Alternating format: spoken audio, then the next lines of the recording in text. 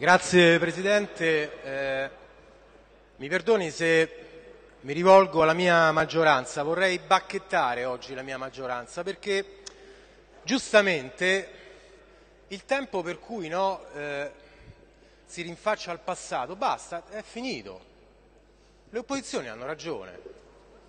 Non, eh, basta, non, non, ai, ai, cittadini non si può raccontare la verità, non, non è giusto, non, si può, cioè i cittadini non devono sapere quello che è successo negli ultimi 20-30 anni che noi stiamo scoprendo mano a mano che stiamo amministrando, che sono le cause no, che ci impediscono di governare in maniera ordinaria, perché ovviamente, sai, se governi in maniera straordinaria ci devono dei motivi, li devi rappresentare alla cittadinanza e quindi no, dovresti dire quello che è successo negli ultimi vent'anni, però non è giusto, non si deve dire, non si può fare. Non si può dire a un cittadino che ci motivo, no, ci chiede qual è il motivo per cui non ci sono i soldi, non gli si può dire che gli è stato appioppato un mutuo a sua insaputa, con la sua firma, per 50 anni che finirà nel 2048, per cui ogni anno il cittadino paga 200 milioni e grazie a questo mutuo non ci sono risorse per fare e per offrire i servizi necessari alla città, non si può dire. Hanno ragione le opposizioni. E che cavolo?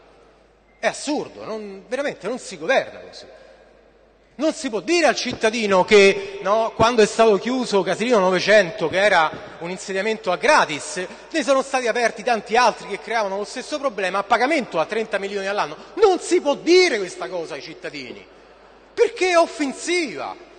Non si può dire ai cittadini che nel merito della delibera degli automolitori del 2014 che prevedeva, no, indicava diverse aree, quelle aree sono ovviamente invarianti al PRG e non si può dire al cittadino che una variante al PRG ha due, tre anni come minimo no, di procedura invariante al, al piano regolatore rispetto alla destinazione d'uso. Non si può dire perché chiaramente, per carità, questa verità è talmente disarmante rispetto a una delibera del genere che qualifica l'incapacità di, di chi ha governato finora finora questa città e queste cose non si possono più dire.